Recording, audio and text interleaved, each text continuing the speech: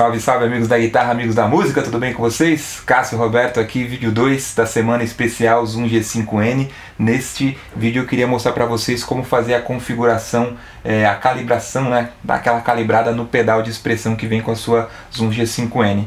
É, nós no vídeo anterior mostramos como, configura, como resetar para as configurações de fábrica. O vídeo está aparecendo aqui no card para você que não assistiu ainda. Eu vou ensinar como fazer aí você calibrar o seu pedal de expressão da sua pedaleira Zoom G5N.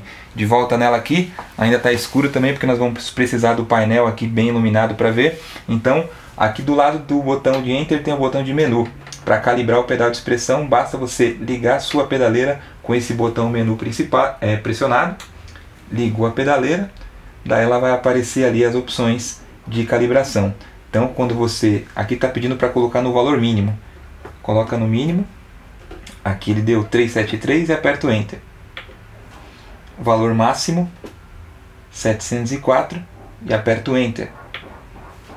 Completou, vai iniciar ali.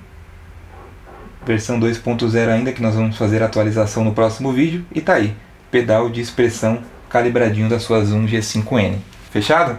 Então esse é o vídeo, vídeo de hoje, na verdade, não é nem dessa semana. É o vídeo de hoje mostrando como calibrar seu pedal de expressão na Zoom G5N. Se você curtiu esse vídeo, dá um joinha nele. Não se esquece de se inscrever no canal e ativar as notificações. Tá? Essa semana inteira especial, de segunda a sexta-feira, um vídeo por dia. Tiro rápido, curto de como você configurar, fazer as primeiras configurações básicas aí na sua pedaleira da Zoom. Fechado? Meu nome é Cássio Roberto, mais uma vez agradecendo. Se cuidem, um abraço e é nóis!